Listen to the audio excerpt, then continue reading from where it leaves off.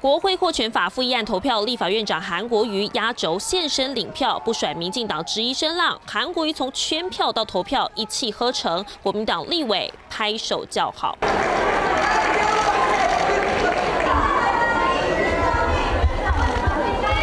在蓝白护送下，韩国瑜投完票后火速回到主席台，而最后开票结果，韩国瑜通通投下反对复议案，也让民进党立委直呼离谱。你是？国家的立法院长，而不是国民党的立法院长，真的不要把自己的格局做小了，甘心沦为傅昆奇的小弟。根据立法院组织法的规定。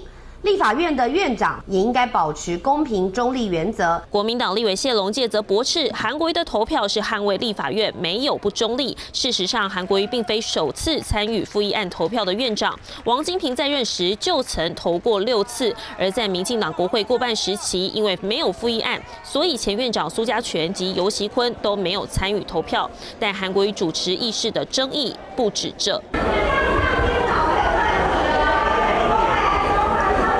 点完之后，从头到尾每一个字都念一下，解决大家心中的疑虑。